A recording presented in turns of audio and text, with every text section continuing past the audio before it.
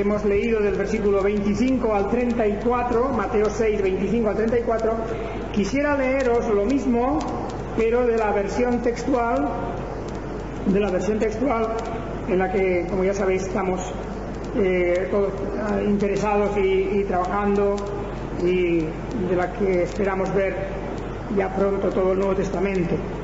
Eh, dice, la versión textual dice eh, de esta manera, Mateo 6:25, por tanto os digo, no os afanéis por vuestra vida que habéis de comer.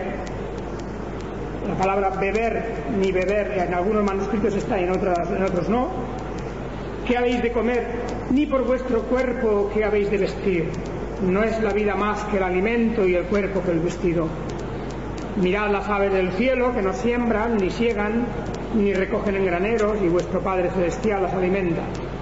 ¿No valéis vosotros mucho más que ellas? ¿Y quién de vosotros puede, afanándose, añadir sobre su estatura un solo codo? Y en cuanto al vestido, ¿por qué os afanáis? Considerad atentamente los lirios del campo, cómo crecen. No trabajan con fatiga, ni hilan. os digo que ni Salomón, en todo su esplendor, se vistió como uno solo de estos. Y si la hierba del campo, que hoy existe y mañana es echada al horno, Dios la viste así, ¿no hará mucho más a vosotros, hombres de poca fe? No os afanéis pues diciendo que comeremos o que beberemos o con que nos cubriremos, porque los gentiles buscan con afán todas estas cosas y vuestro Padre Celestial sabe que tenéis necesidad de todas ellas. Mas buscad primeramente el reino y la justicia de Él, y todas estas cosas os serán añadidas. Así que no os afanéis por el mañana, porque el mañana se preocupará de sí mismo. Basta a cada día su propio mal. Ese texto es algo diferente, como podéis eh, ver, tiene un poco de, diferencias. Bien, vamos pues a, a entrar, como hemos dicho hace un momento, en eh, considerar esta parte, era, es continuación de lo que la semana pasada estuvimos considerando sobre los tesoros y la acumulación de tesoros y la clase de tesoros y el interés que podemos tener en, durante la, la vida, eh, alrededor, a lo largo de nuestra vida, en eh, precisamente eh, hacer o amontonar diferentes clases y formas de tesoro. El Señor Jesucristo, por supuesto, que aquí nos una clara alternativa, diciendo que, por un lado, los gentiles, la persona gentil quiere decir aquellos que están fuera del camino de la fe, aquellos que no cuentan con la palabra y la voluntad de Dios en su vida, que hacen sus planes y digamos que desarrollan eh, su, eh, su, vida entera sin consideración ninguna a la palabra de Dios. Estos son los gentiles. El incrédulo, por tanto, la, la persona que vive al margen de Dios. Estos tienen comúnmente, y no quiere decir eso cada individuo, no quiere decir, estamos hablando de un colectivo, estamos hablando de una especie de, de gran eh, masa de gente que tiene como principal objetivo las cosas materiales de este mundo. Bien, eso quedaba ahí, ¿verdad? ¿Os acordáis que esa era, digamos, la, la idea principal que el otro día estábamos eh, considerando? Y, por otro lado, cómo frente a esa especie de a esa especie de afán de acumular cosas, de tener en esta vida, uh, diríamos, eh, esa gran cantidad de riquezas, hay otro propósito distinto. Hay una alternativa distinta que es la de aquellos que se ocupan en el reino de Dios y de su justicia. Así que eh, esta es la cuestión que hoy vamos a considerar principalmente, porque en el versículo 25 en adelante ya tenemos pues el planteamiento cuando el Señor dice no os afanéis por vuestra vida, qué habéis de comer o qué habéis de beber, ni por vuestro cuerpo que habéis de vestir, porque dice, la vida es más que el alimento y el cuerpo más que el vestido. Es una reflexión que el Señor nos hace. Fijaos que aquí se contrapone eh, la palabra vida, la palabra vida con una serie de cosas materiales, que es el alimento y el vestido. ¿Eh? Y la vida es más que eso, incluso el mismo cuerpo también. Cuando hemos de valorar las cosas eh, que tenemos y las cosas con las que tenemos relación en este mundo, pues hemos de considerar que el hecho de la vida misma con lo que significa de actividades, con lo que significa del servicio a Dios, con lo que significa de las relaciones con las personas, la vida en sí, todo el conjunto de cosas que forma la vida, eso es mucho más importante que lo que dice aquí el alimento. Indudablemente que el alimento es importante. ¿Quién niega que el alimento es importante? Pues ya sabemos que sí, pero también es verdad que a veces le damos demasiada importancia. No digo, por desgracia, a aquellos que les falta el alimento. No es eso. Hay muchas personas en el mundo hoy que pasan hambre y vemos escenas dramáticas de personas que mueren de inanición y que están al borde de la desesperación por falta de lo mínimo de alimento. Entonces, a estas personas no se les podría decir esto. No podríamos, sería un sarcasmo, ir a esas personas y decirles que no se preocupen por el alimento. No era esta la intención del Señor. No era esa la intención del Señor. El Señor no estaba dirigiéndose, en aquel momento no se estaba dirigiendo a personas que se estaban muriendo de hambre Nunca les habría dicho el Señor a esas personas, no os preocupéis por el alimento. No, se estaba dirigiendo a personas que razonablemente tenían de todo. No era una sociedad de la superabundancia como en algunos lugares del mundo de hoy, pero en aquel momento y en Israel, pues la gente comía y normal y el hambre en sí no era una cosa amenazadora como hoy lo es en muchos países. Entonces, lo que ocurre es que cuando se habla del alimento, pues a veces hay una especie de afán por el alimento. A veces hay una carencia de una cierta obsesión por el alimento. Y eso se nota demasiado y, se le da una importancia extraordinaria a veces en ciertas culturas y en el pensamiento de ciertas personas. Y ya digo que no, no estoy pensando en los que tienen una necesidad real y urgente, sino en aquellos que viven una vida normal. Y aún así se le da más importancia a veces a esto, a lo que es el alimento, que a otros aspectos de la vida a otros aspectos de la vida. Y por eso el Señor quiere poner aquí las cosas en su equilibrio. La vida es más importante que el alimento. No hemos de estar tan preocupados, tan afanados, tan obsesionados, a veces, dice el Señor, con estas cosas como es el alimento, cuando realmente hay otras cuestiones mucho más importantes en la vida. Y a veces no nos ocupamos de esas cosas tanto. Incluso a veces hablamos demasiado del alimento o hablamos demasiado de aquellas cosas que se refieren al alimento, cuando en realidad hay aspectos de la vida que no los tocamos mucho, aspectos, como he dicho, de relaciones, aspectos incluso culturales, aspectos de todo tipo, lo que significa otras dimensiones de nuestra vida que necesitan una atención y no tanto en relación pues al alimento. Y el cuerpo lo mismo. No es el cuerpo más que el vestido. Puede ser que en la sociedad de hoy, que también en la sociedad más bien de carácter más opulento, más, eh, con más eh, eh, posibilidades, pues el vestido también recibe demasiada importancia.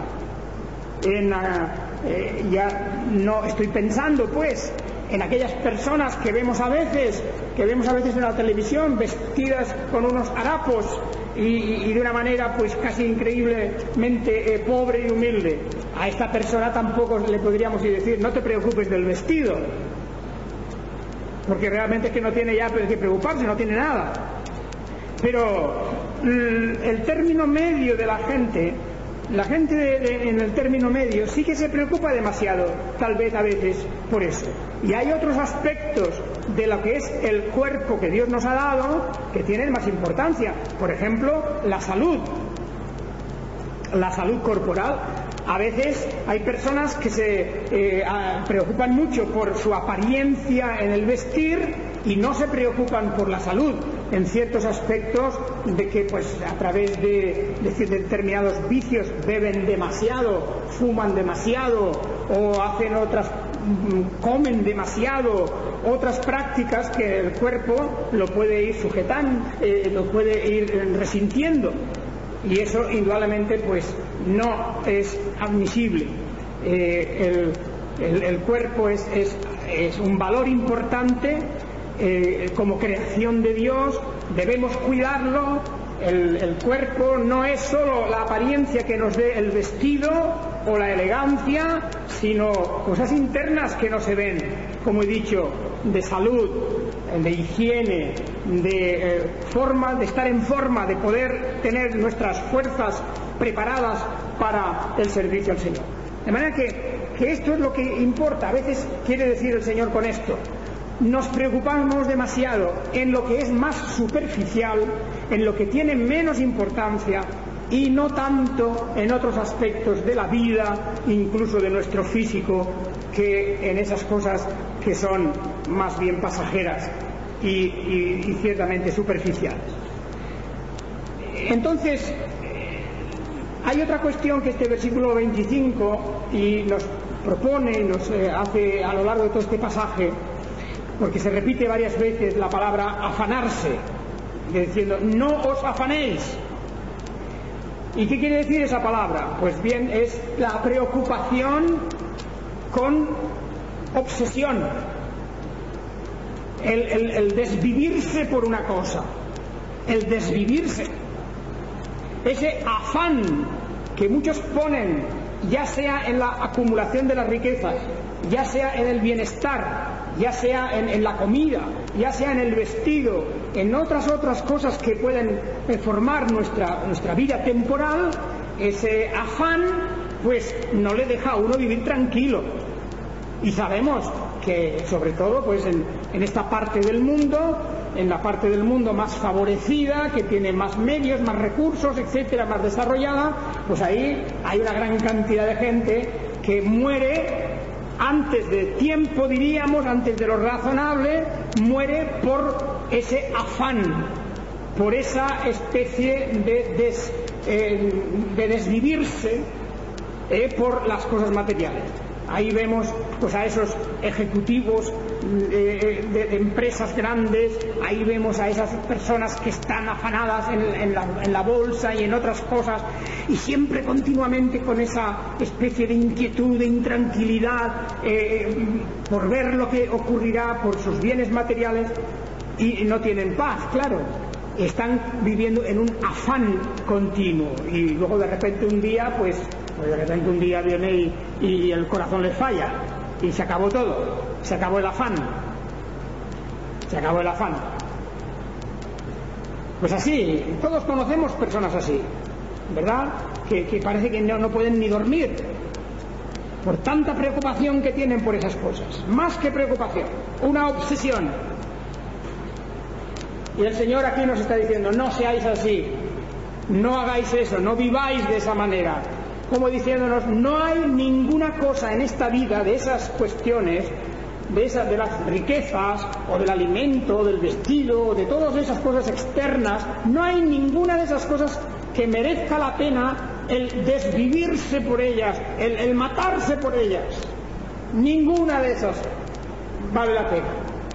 Hemos de pedir al Señor, por supuesto, y eso la Escritura nos lo dice claro, que nos dé el pan de cada día, lo habíamos visto ya en la oración eh, del Padre Nuestro, que nos dé el pan de cada día, significa que nos dé lo necesario, que, tengamos, como dice también el, apóstol Pedro, que tengamos con qué eh, cubrirnos, y Pablo también, y con qué, eh, y con qué alimentarnos, que tengamos lo necesario Y, ciertamente que Dios en su providencia puede darnos más, que Dios puede derramar sobre una persona lo que Él quiera, pero eso es un acto de su gracia y de su soberanía, es un acto de la providencia y Dios puede cuando quiera hacer eso con quien quiera. Pero lo que dice aquí el Señor es que no nos afanemos por ello. No vale la pena. No da la felicidad, no trae la felicidad eso. Al contrario, mucha gente lo pierde todo precisamente por querer ganar eso. Y entonces viene esa reflexión que viene en los versículos 26, 27, 28, etcétera, hasta prácticamente el 30, esos versículos que son una comparación, para que nos ayuden a pensar, que nos ayude a pensar a nosotros en lo que hace la providencia divina. Es decir, que Dios tiene cuidado de las cosas que ha creado y tiene cuidado de su pueblo en particular. Tiene cuidado de su pueblo. Es verdad, y hemos de reflexionar con esto, muchos podrían pensar y decir, bueno, pero también ha habido y hay creyentes que pasan necesidades, incluso no solo necesidades, sino que están entre esos que mueren de hambre. ¿No es verdad que hay creyentes que también mueren de hambre? Claro, es verdad que sí, ha habido y los hay, pero hemos de reflexionar aquí varias cosas. La providencia de Dios actúa no conforme a una regla general para todos igual. En segundo lugar, vivimos en un mundo donde la acción del mal la acción del pecado y la acción de la rebeldía contra Dios están estorbando enormemente el curso de los hechos de la providencia divina. Por lo tanto, no nos olvidemos que la acción satánica también se manifiesta en traer sobre el mundo miseria, lamento y tristeza, a través de todo, a través de, guerras y catástrofes, a través de hambres y también que los juicios de Dios intervienen de esa manera. También muchas de esas cosas que ocurren son juicios de Dios en determinados momentos de la historia. De verdad que aquí se entremezclan varias cuestiones. Hay por un lado ese juicio de Dios, hay por otra parte lo que significa el, estorbo que eh, la acción satánica eh, está operando en el mundo. Todo eso está ahí lo estamos viviendo continuamente alrededor nuestro. A veces no sabemos decir si esto proviene de una acción de satánica o es directamente un juicio de Dios. Eso no nos corresponde a nosotros porque ignoramos muchas cosas. Pero siempre hemos de saber que la soberanía de Dios y la providencia de Dios lo están guiando todo por encima de todo. O sea que por encima y sobre todas las cosas siempre hay unos propósitos divinos que llevan al fin de las cosas. Por esto, en el mundo tendréis aflicción, se nos dice en la escritura, no solo refiriéndose a persecuciones y, y al insulto por el hecho de ser discípulos de Jesucristo, sino también la aflicción común a las gentes de este mundo. Eso también toca a los cristianos también toca al creyente en muchas ocasiones en la historia. Por eso hay cristianos que sufren, que sufren no ya por persecuciones eh, por la fe, sufren por otras causas, sufren de epidemias y enfermedades y hambres y inundaciones y terremotos. También afectan a los creyentes, claro, porque estamos mezclados como iglesia de Dios con el resto de las gentes. Y por lo tanto, cuando hay un terremoto en una población, pues también mueren cristianos. Y cuando hay hambre en un país, también mueren cristianos. Y si hay una epidemia y terrible de cólera, pues también mueren cristianos. Pero eso no niega que haya un cuidado de Dios por encima de todas las cosas. Y que eso está en relación, indudablemente, con el hecho de que la gracia divina, la gracia divina nos ampara y nos protege a lo largo de nuestra vida. Lo que el Señor quiere es que aprendamos que en medio de todas estas cosas, aún así, no nos afanemos. Si nos toca sufrir, pues acordémonos de la experiencia de Job y de otros muchos que también sufrieron. Hasta los más poderosos sufrieron. También Abraham sufrió y también David sufrió. Todos, en cierta manera, estamos expuestos, como estamos expuestos a la muerte en cualquier momento. Pero lo importante es no os afanéis, dice el Señor, no os afanéis. No viváis con esa especie de preocupación continua, desviviéndonos por causa de las cosas materiales. Por eso el versículo 31, no os afanéis pues diciendo qué comeremos o qué beberemos o qué vestiremos, porque los gentiles buscan todas estas cosas, pero vuestro Padre Celestial sabe que tenéis necesidad de todas estas cosas. Ahí está lo importante, el Señor sabe que tenemos necesidad. Y esa, esa necesidad que, que Él conoce, pues la, la suple y la mitiga de maneras diferentes a lo largo de nuestra vida. Y podemos decir que así el pueblo de Dios y la inmensa mayoría de la gente, de los que invocan el nombre del Señor, puede decir que el Señor realmente nos cuida. El Señor nos cuida. Lo importante es que en el versículo 33 se ha puesto el orden de las prioridades. Y esto es lo que tendría que quedar más claro de todo este pasaje en nuestra mente. El versículo 33 dice, buscad primeramente el reino de Dios y su justicia. Y todas estas cosas os serán añadidas. Esto ha de calar profundamente en nuestro corazón. Es decir, las prioridades en la vida. ¿Qué cosa hemos puesto en primer término en la vida? Aquí dice que ha de ser el reino de Dios y la justicia, la justicia de Dios. El reino de Dios significa el ámbito del dominio y la esfera de la influencia de Dios en la vida entera. Su iglesia en este mundo y el reino de Dios en los cielos. Buscar el reino de Dios, el reino de Dios o el reino de los cielos, que es una misma expresión prácticamente, y que nos empuja a mirar pues a otra dimensión distinta. Sí, también en las cosas temporales, también en las cosas materiales, todo entra en el ámbito de, de la soberanía de Dios. Ya dijimos que, que no hemos de aceptar esa especie de dicotomía entre lo material y lo espiritual, ¿no? Porque todo pertenece a Dios, todo. Pero las cosas temporales son temporales y las cosas eternas son eternas. Y el apóstol Pablo también nos habla de eso en términos muy claros cuando habla a los corintios sobre esto, y cuando habla a los filipenses y en otros lugares, habla con este concepto de que diferenciemos entre lo temporal y lo eterno, y que diferenciemos también en aquello que es pasajero y, en aquello que permanece.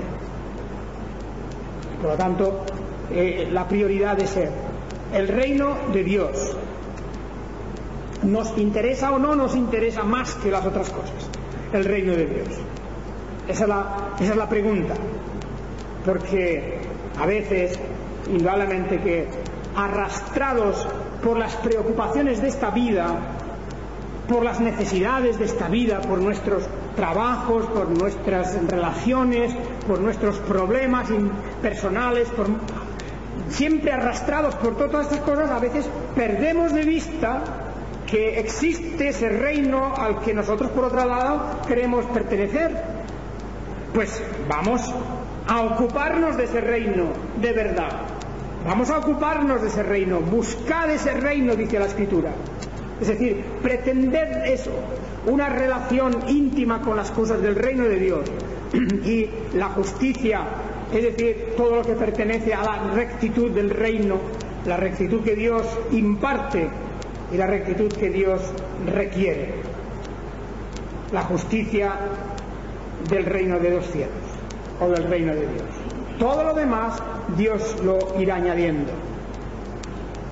De manera que el día de mañana, esa gran preocupación siempre para todos, no solo porque es un interrogante y nos preocupamos por las cosas materiales del mañana, pues mañana tendré trabajo, tendré dinero, tendré casa, tendré alimento, mañana, siempre esa pregunta, ¿verdad? Hoy lo tengo, pero ¿y mañana? ¿Y mañana? Y esa es nuestra preocupación siempre, porque no sabemos, ignoramos mañana.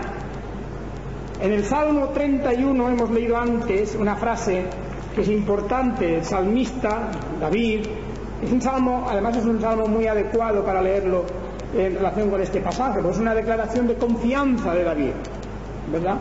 Y una de las cosas que dice en el versículo 15, 31, 15, dice, en tu mano están mis tiempos.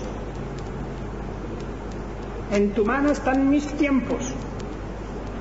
Como ese mañana, ¿por qué dice el Señor, no os afanéis por el día de mañana? Porque Él dice eso porque sabe que Él tiene el control de nuestros tiempos, de nuestros días. ¿Quién puede añadir a su vida, a su vida un codo? ¿Quién puede añadir a su vida un codo? De, ¿Quién puede alargarse un codo? ¿Eh? Esta es una importante cuestión, ¿verdad? Cuando dice aquí el Señor esto. Eh, fijaos,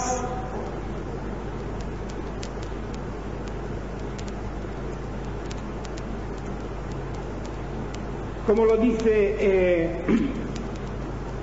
el Señor en, este pasaje, el versículo 27 de la versión textual, dice, ¿quién de vosotros puede, afanándose, añadir sobre su estatura un solo codo?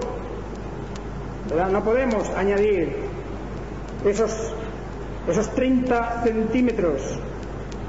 Eh, y como dice literalmente aquí en el versículo 27, en una nota, ¿quién puede añadir un codo a su vida?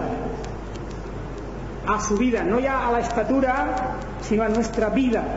Estamos hablando no del tamaño físico tanto, no estamos bien refiriéndonos al tamaño físico, estamos hablando sobre todo del mañana. ¿Quién puede añadir a, nuestra, a su vida un poco más? ¿Quién puede añadir más a la vida? Es decir, el Señor tiene fijado nuestros días y nadie puede añadir ni un segundo. Nadie puede añadir nada. Por, lo tanto, estamos en las manos de Dios y debemos recapacitar sobre eso profundamente cuidando, haciendo lo que Él tiene prescrito, claro que sí, pero sin el afán y la preocupación. Hermanos, por lo tanto, creo yo que ahí es donde reside una de las cuestiones más importantes en el tiempo de hoy, en el mundo de hoy. Eh, las gentes que andan a veces desesperadas de acá para allá, con ese afán, con esas preocupaciones, con esas luchas, con, esas torturas internas que llevan dentro por tener más, por poseer más, por vivir mejor, etcétera, etcétera, y al fin de cuentas, como digo, de repente un día se han muerto. Y ciertamente se morirán. Nadie puede añadir más, ni puede tener más. Todo tiene sus límites. Es mejor que todo ese afán lo pongamos en buscar el reino de Dios.